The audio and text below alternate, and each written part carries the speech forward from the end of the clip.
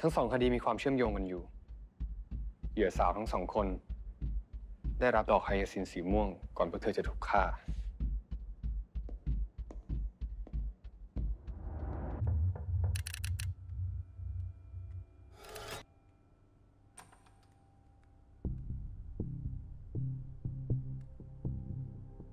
ขอบคุณค่ะ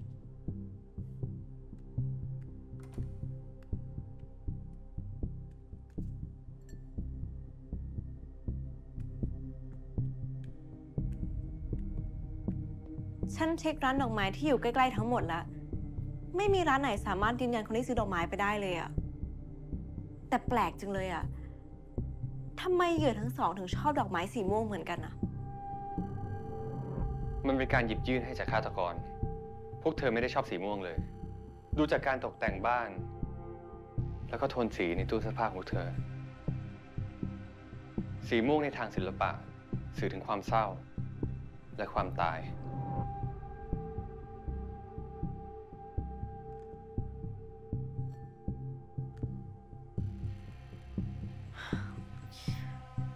เป็นฆาตกรที่เขาคิดเยอะเหมือนกันเนาะ สงสัยคงดูหนังมากไป ไม่ใช่หนัง ตามตำนานอพอลโลเทพแห่งดวงอาทิตย์ และเซฟไฟรัส เทพแห่งสายลมตะวันตก ทั้งคู่ตกหลุมรักไฮยาซิน แต่สุดท้ายไฮยาซินก็ต้องตาย เพราะความรักของทั้งคู่ เลือดของไฮยาซินไหลนองเป็นสีม่วงฟังแล้วขนลุกอะ ฆาตกรจะต้องเป็นผู้ชายที่หน้าตาดีและค่อนข้างมีฐานะทำให้เข้าถึงตัวเหยื่อสาวได้ง่าย คนร้ายจะทำให้พวกเธอหลงรัก และทำให้เธอไว้ใจ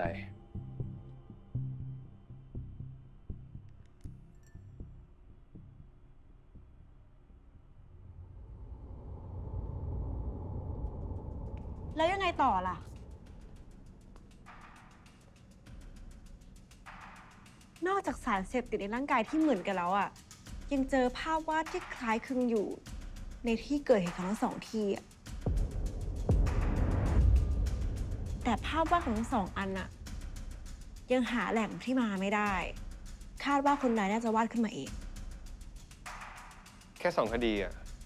ยังสรุปอะไรไม่ได้หรอก ตามหลักอาชญาวิทยาเราจะฟันธงว่าเป็นฆาตกรต่อเนื่องได้ เมื่อมีคดีที่สามหมายความว่ายังไง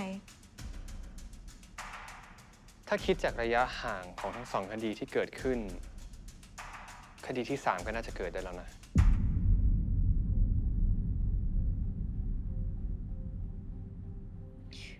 คุณนี่เลื่อนเหมือนฆาตกรเลยผมนะมีสมมติฐานใหม่ แม้ว่าผลจากนิติเวชจะบอกว่า เหยื่อทั้งคู่ถูกฆ่าโดยการรัดคอทำให้ขาดอากาศหายใจ แต่ทำไมกับเหยื่อรายที่สองฆาตกรกลับซ้อมทำร้ายร่างกายทั้งที่เธอไม่มีโอกาสตอบโต้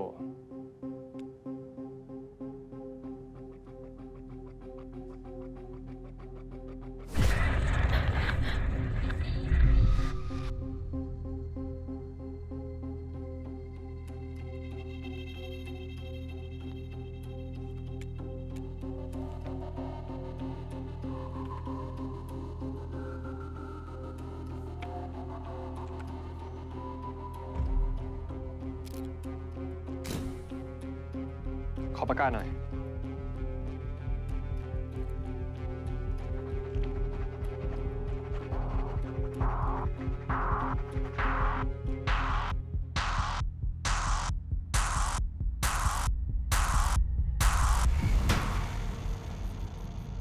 พอเปลี่ยนเป็นผมยาวแล้วเนี่ย จะเห็นได้ว่าสองคนนี้หน้าตาคล้ายกันมาก แล้วไง ฆาตกรคนนี้มีสเปคในใจ แม้ว่าเขาจะฆ่าคนหลายคน แต่ในหัวของเขาเขากำลังฆ่าคนคนเดียว ซ้ำถึงแม้ว่าฆาตกรจะฆ่าเหยื่อหลายคนเนี่ย แต่ในความคิดเขา เขากำลังฆ่าแค่คนคนเดียวกันอยู่ นี่ทำให้เรามั่นใจได้ว่า คดีนี้เนี่ย เป็นคดีฆาตกรรมต่อเนื่องแน่นอนค่ะ เฮ้ยเดี๋ยวเดี๋ยวเดี๋ยว จะบ้าเปล่าแค่เนี้ยนะ มันไม่ใช่แค่นั้น อีกอย่างที่ทำให้เรามั่นใจได้ว่าสองคดีนี้เนี่ย คือฆาตกรคนเดียวกัน ก็คือสัญลักษณ์ที่เขาทิ้งไว้ที่เกิดเหตุ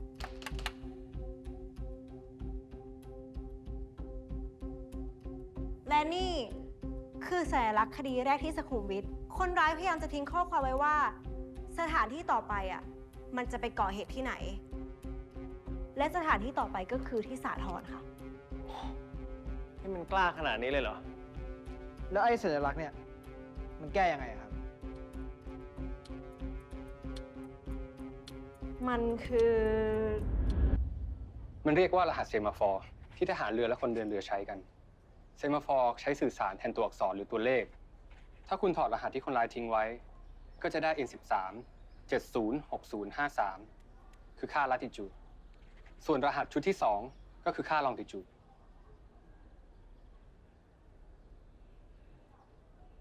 แล้วลองทิถูนี่เราหาได้จากไหนอะ คุณควรคิดเองบ้างนะ ไม่งั้นคุณจะมีหัวไว้แค่ขั้นหู ไอ้บ้าเอ้ย